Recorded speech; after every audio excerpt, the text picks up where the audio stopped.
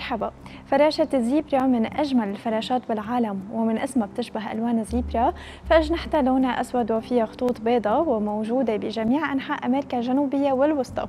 جناحات فراشة الزيبرا بيتراوح طولها بين 72 و 100 ملم وهي الفراشات الوحيدة يلي بتفضل التغذية على حبات الطلع يلي بتساعدها أنها تعيش لفترة أطول من الفراشات الثانية بست شهور. فراشات الزيبرا بتتجمع بالليل مع بعضها وبتنام على غصون الأشجار. نرجع لأخبار طقسنا فعم يكون متقلب بين الغائم جزئيا والغائم والماطر على فترات فوق أغلب المناطق.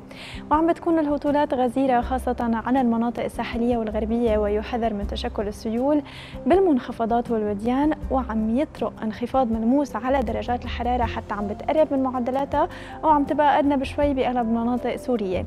بالنسبة للرياح عم تكون غربية لجنوبية غربية معتدلة بترافقها هبات نشطة.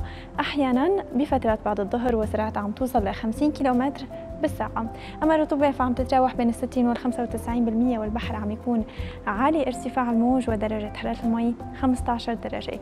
رح ننتقل سوا لنشوف كيف عم يكون الطقس بالساعات الجاية بالعاصمة السورية دمشق عم يكون ماطر بشكل عام ودرجات الحرارة عم تتراوح بين 7 وال 15 درجة. أما كيف عم يكون الجو بأهم المدن والمناطق السورية رح ننتقل سوا لنشوف. بالسويدة مكفي ماطر ودرجات الحرارة عم تتراوح بمدينة درعا. بين التسعة وال 15 درجة وبالقناطرة درجات الحرارة عم بتسجل الدنيا 6 العليا 13 درجة.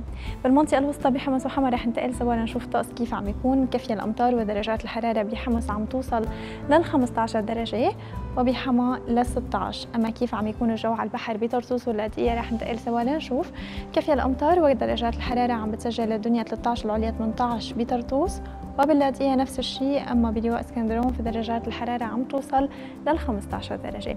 بالمنطقة الشمالية بحلب وإدلب طقسنا مكفي ماطر ودرجات الحرارة عم تسجل بمدينة حلب الدنيا 8 العليا 15 ضل أخيرا ننتقل سوا لنشوف كيف عم يكون الطقس بالمنطقة الشرقية. رح نبدأ من مدينة الرقة الجو فيها عم يكون ماطر مثل كل المناطق ودرجات الحرارة عم تتراوح بين 9 و 16 درجة وبالحسكة درجات الحرارة عم توصل لل 15 وأيضا طقسنا مكفي ماطر. أما أخيرا بدير زور درجات الحرارة عم توصل ل 17 درجة والأمطار مكفية. هي كانت أخبار طقسنا للساعات الجاية. لتعرفوا تفاصيل أكثر عن طقس هالأسبوع انتظروني بكرة. باي.